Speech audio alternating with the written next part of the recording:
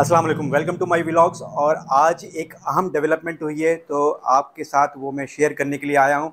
और वो डेवलपमेंट ये है कि एक दरख्वास्त ज़िला शर्की की अदालत में जमा कराई गई है और उसमें ये इस्तः की गई है कि डॉक्टर आमिर लियाकत हुसैन, जिनकी तदफीन हो चुकी है, उनकी कब्र कुशाई करने के बाद उनका पोस्टमार्टम कराया जाए, क्योंकि उनकी जो मौत हुई है, वो पुरअसरार हालत में हुई है। और ये वजह जो है, वजह उनकी जो मौत की वजह है, वो मालूम नहीं हो सकी है और पोस्टमार्टम के बगैर उनकी तदफीन कर दी गई है। तो इस सिलसिले में पोस्टमार्टम ज़रूरी था ताकि उनकी मौत की वजह मालूम की जा सके।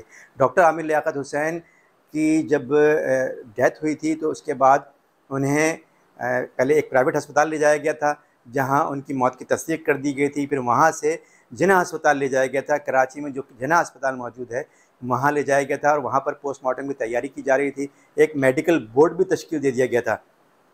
पुलिस सर्जन की क़्यादत में मेडिकल बोर्ड हेल्थ सेक्रेटरी ने तश्कील दिया था और ये तीन मेंबर बोर्ड था मेडिकल बोर्ड और ये पोस्टमार्टम की अभी तैयारी कर रहा था और इससे पहले उन्होंने इंस्पेक्ट किया था, जो बज़ाहिर उन्होंने एग्ज़ाम किया था उसको बॉडी को कि ज़ाहरी हालत क्या है बॉडी की और फिर उन्होंने ये डिसाइड किया था कि इस बॉडी को पहले होल बॉडी एक्सरे किया जाए, यानी कि पूरी बॉडी का एक्सरे करने के लिए इसको रेडियोलॉजी डिपार्टमेंट ले जाया गया था। वहाँ पर होल बॉडी एक्सरे किया गया था और उस एक्सरे की रिपोर्ट बाद में जो मुतल हुकाम थे, उनके हवाले कर दी गई थी, सील बमोहर। तो वो जो है, वो इसके बाद पोस्टमार्टम नहीं किया गया था क्योंकि पोस्टमार्टम जो है वो उसमें फिर वरसा आ गए थे, वरसा में मुदाखलत की और फिर पुलिस ने जो है वो मुजाहमत भी की थी कि नहीं पोस्टमार्टम ज़रूरी है पोस्टमार्टम के बगैर बॉडी नहीं दी जा सकती।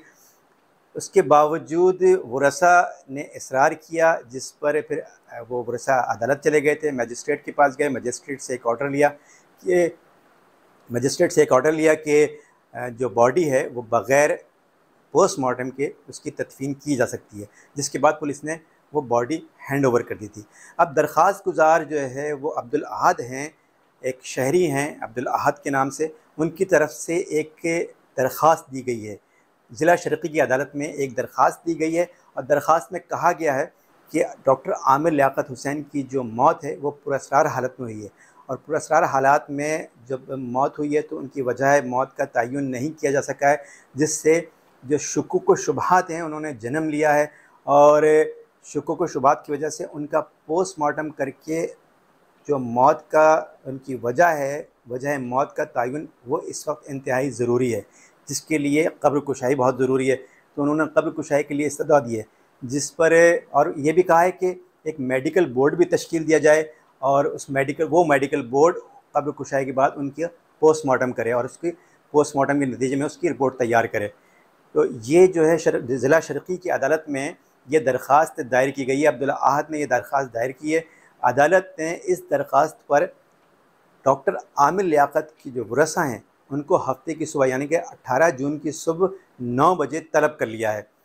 अब देखना यह है कि इस अदालत में जो ये दरख्वास्त है इस पर क्या फ़ैसला आता है?